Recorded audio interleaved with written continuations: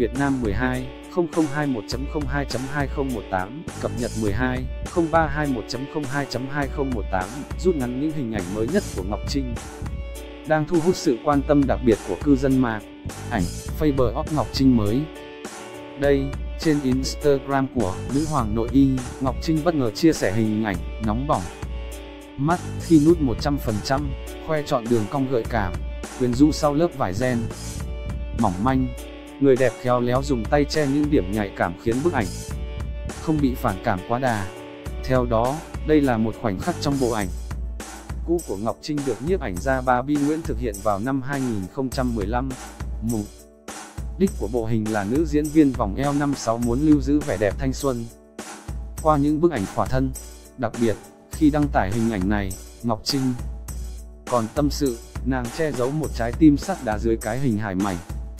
Khảnh và duyên dáng, đàn bà hoàn toàn thấy rõ rằng họ càng vâng lời bao. Nhiêu thì họ càng chỉ huy bấy nhiêu. Ngay sau khi đăng tải, hình ảnh của Ngọc Trinh nhanh chóng nhận được sự quan tâm đặc biệt từ phía cộng đồng mạng.